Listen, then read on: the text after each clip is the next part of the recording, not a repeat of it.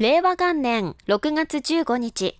阿蘇市内巻のホテルで農事組合法人阿蘇オクラの設立総会が開かれ、阿蘇市で3番目の農事組合法人が誕生しました。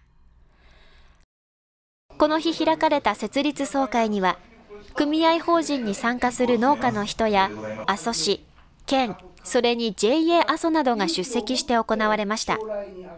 まず発起人を代表して成田和明さんが挨拶。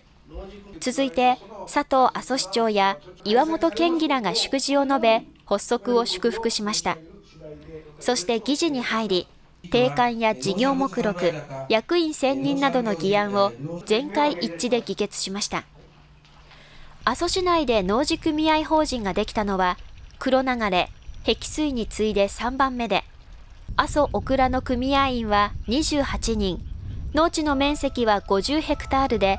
米、麦、大豆などを栽培するということです。農事組合法人を立ち上げることによって、水田の有効活用や共同作業による効率化、地域農業の担い手不足の解消につながるほか、さまざまな支援制度の活用や税制の優遇措置が受けられるメリットがあるということです。